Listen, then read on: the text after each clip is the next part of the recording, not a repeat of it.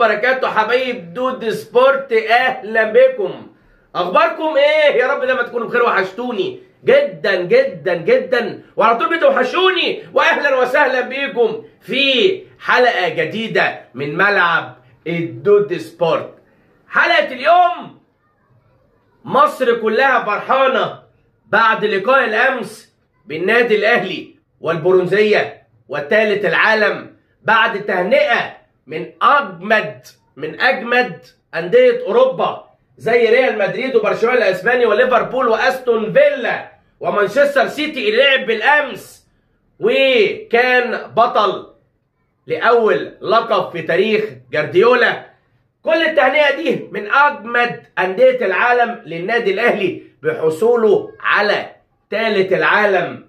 وعندنا خبر للشناوي وعندنا رمضان صبحي. واليو ديانج ومفاجآته والراحلين عن نادي الزمالك والحلقة النهارده كلها سخنة ملهلبة. وهنخش على مين؟ على ملعب الدودي سبورت بس قبل ما نخش على كل ده نعمل اشتراك للقناة ونفعل الجرس ونوصل الفيديو بإذن الرحمن إلى 3000 like. بنجح بيكم دعواتكم وبإذن الله تعالى. أكون دايما عند حسن ظنكم اللهم صل وسلم وزد وبارك على سيدنا محمد صلى الله عليه وسلم. وهنقول بسم الله الرحمن الرحيم. مبروك لمشرف الكرة المصرية للنادي الأهلي وجماهير النادي الأهلي. وبعد تهنئة جميلة جدا من أحد الأندية الأوروبية الضخمة جدا جدا جدا. وأقولها لكم تاني ريال مدريد الأسباني وبرشلونة الأسباني وليفربول الإنجليزي وأستون فيلا الإنجليزي ومانشستر سيتي الإنجليزي. يعني من أجمد خمس أندية في العالم. وبركيه تهنئة لكابتن محمود الخطيب بالأخص ثم النادي الأهلي ثم لجنة تخطيط النادي الأهلي ثم جماهير النادي الأهلي ثم لكل شيء داخل الساحرة المستديرة بالنادي الأهلي باللقب البرونزية الثالث على العالم. محمد الشناوي يرفض تماما وبيقول لك محدش يتدخل معاه بقى في حتة الاحترافية والكلام ده عشان محمد الشناوي رفض 450 مليون جنيه من جاب من قبل أو من أو من أو من أجل النادي الأهلي. يعني محمد الشناوي لن يحترف ومش هيفكر في حتة الاحترافيه من أجل النادي الأهلي. ومستمر مع النادي الأهلي علشان هو حسبها بينه وبين نفسه. قال لك أنا دلوقتي 35 سنة يعني كلها سنتين ثلاثة وهبطل. لا أنا لما أكون في النادي الأهلي اولا همسك حاجة جوه النادي الأهلي ثانيا عملت وهعمل كيان ليا داخل النادي الأهلي وكل شيء لمحمد الشناوي داخل النادي الأهلي وبعد كده هيعتزل علشان يكون يكون ليه حاجة جميلة جدا جوه النادي الأهلي وهيكون إضافة فعلا لأي شيء داخل النادي الأهلي. محمد الشناوي يرفض تماما الحتة الاحترافية. كان جاي له الهلال السعودي والنصر السعودي بملايين الملايين لكن الراجل رفض كل الملايين من أجل البقاء للنادي الأهلي. نجم وسط النادي الأهلي واحترافه ورحيله علشان الراجل خلاص. الراجل أو اللاعب يا جماعة اللي يفكر في الحتة الاحترافية ينسى اللي هو يدي النادي بتاعه ب 3 جنيه. يعني إيه ب 3 جنيه يا عم دودي؟ هقول لك يعني إيه. أنا دلوقتي جربت الحتة الاحترافية وفكرت فيها مش هفكر في النادي اللي أنا فيه. مش هفكر ألعب أو أدي للنادي اللي أنا فيه. خلاص جربت الحتة الاحترافية وعايز أحترف. عايز أحترف في مين بقى؟ جاي له أياكس أمستردام الهولندي وفولهام. الإنجليزي وجالاتا سراي التركي وهو إليو ديانج.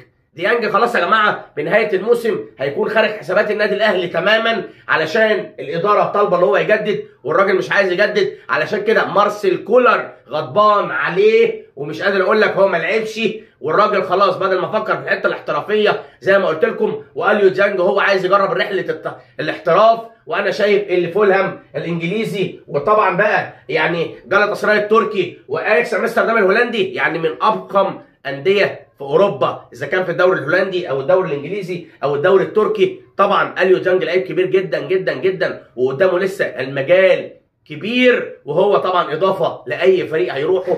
اليو ديانج المتألق المبدع مع النادي الأهلي اللي يقترب بنسبة 70 80% من رحيله بنهاية الموسم الحالي. نخش بقى على مين بقى؟ نخش بقى على العكننه والمضايقة وهنشوف بقى الدنيا ماشية إزاي. إذا كان مع المهندس ممدوح عباس اللي فعلا عامل مجهود كبير جدا جدا جدا. اجتماع مغلق. قبل سفر فيوتشر اف سي إلى السوبر لمشاركته في السوبر المصري اللي طبعا إن شاء الله بإذن الله بنتمنى كل التوفيق نتفرج على كورة مصرية جميلة جدا في الإمارات وهو السوبر المصري. طبعا المهندس ممدوح عباس قعد مع مين؟ مع عمر كمال عبد الواحد في اجتماع مغلق قبل سفره مع فيوتشر لكأس العالم للسوبر المصري. وطبعا المهندس ممدوح عباس خلص كل شيء مع عمر كمال عبد الواحد والراجل قال له خد فلوس دلوقتي علشان أول ما القيد هيتفك هتكون أنت داخل نادي الزمالك ومن أول الصفقات اللي نادي الزمالك محتاجها عمر كمال عبد الواحد. وخلاص بأكد المعلومة مليون في المية اللي الأستاذ ممدوح عباس أو المهندس ممدوح عباس خلص بنسبة 70 80% مع عمر كمال عبد الواحد وهيكون عمر كمال زملكاوي من بداية الموسم الجديد أو من بداية فك الكيد. أو ما فك الكيد هيتأيدوا نهاية الموسم هيلعب نادي الزمالك في نهاية الموسم. يعني في كلا الحالتين إذا كان من بداية واحد أو من بداية الموسم الجديد تحت قيادة المهندس ممدوح عباس اللي فعلا قدر يدعم لنادي الزمالك من حتة خاصة كده جميلة جدا علشان فعلا بعض الصفقات المهمة جدا اللي إحنا محتاجينها زي عمر كمال وزي رمضان وزي ناصر ماهر وزي وزي وزي وزي في كذا لاعب كده. خلاص على على يعني الرتوشه الأخيرة بمعنى الكلمة هيكونوا على أبواب نادي الزمالك إن شاء الله بإذن الله. فتح الكيد بس والدنيا كلها هتكون متواجدة جوه نادي الزمالك. رمضان صبحي. رمضان صبحي. والمهندس ممدوح عباس. رمضان صبحي كان بيتكلم وقال لك أنا مخلي نادي الزمالك على جنب أنا بفكر الأول وفكري الأول العودة للنادي الأهلي. بص يا عم رمضان علشان بس تفتكر ان أنت إيه؟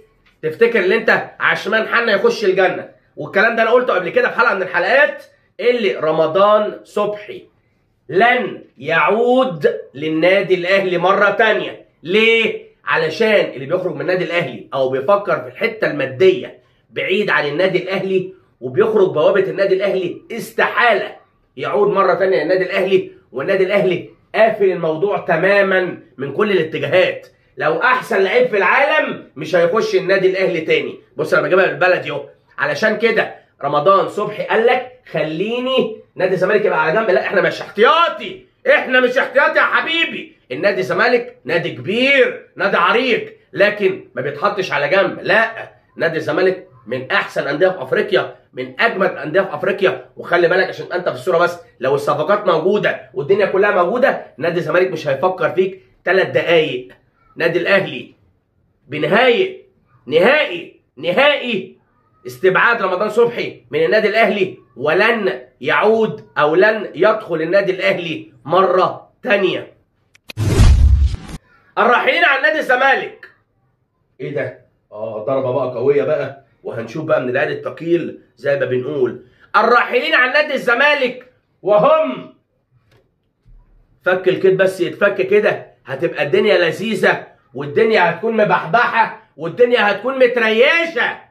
خدها مني بضمان التعليق العربي من ملعب دودي سبورت. الراحلين عن نادي الزمالك في واحد اللي جاي لو القيد اتفتح يبقى الناس دي كده باي باي بالسلامة. ما فتحش يبقى يبقى الوضع على ما هو عليه وربنا يستر وما نبقاش حصالة الدوري السنة دي. أشرف روقا على رأس رئيس العصابة. هو أشرف روقا number 1 محمد عبد الغني اللي ما بيعرفش يستلم ولا يسلم ولا يمسك ولا يلعب man to man على اي حد. عمرو السيسي اللي بيمشي غلط وبيتحرك غلط وبيبص غلط وكل حاجة فيه غلط. إبراهيما نداي الهجاص المياس الهلاس الكلام ده. محمد طارق. اللي ما ينفعش حتى يعدي من قدام نادي الزمالك. محمود علاء. ملك الأسيستات طبعا وإحنا مش عايزين أسيستات. وشكرا ليك يا كابتن محمود فرصة سعيدة في أندية تانية أخرى. مصطفى السناري ملك الأودات لكن ملك السهرات وملك الشرب وملك الحوارات وملك التهليس. مصطفى الزناري خارج حسابات الزمالك. ومحمد صبحي. آه الفنان القدير محمد صبحي وهو المتبقى مع نادي الزمالك لكن على كف عفريت محمد صبحي لن يقف في أبو سمبل في دوري الدرجة الرابعة حتى. كده اكون وصلت إلى حلقتي بتمنى من الله تكون الحلقة عجبتكم. قبل ما معكم نعمل اشتراك للقناة ونفعل الجرس ونوصل الفيديو بإذن الرحمن إلى 3000 لايك. بنجح بيكم بدعواتكم بإذن الرحمن. أكون دايما عند ظنكم انتظروني في كل يوم فيديو جديد من ملعب الدودي بودي سبورت. بشكركم في رعاية الله والسلام عليكم ورحمة الله وبركاته. لا تنسوا الأعجاب بالفيديو والاشتراك في القناة تشجيعا لنا لنستمر بنشر المزيد إن شاء الله.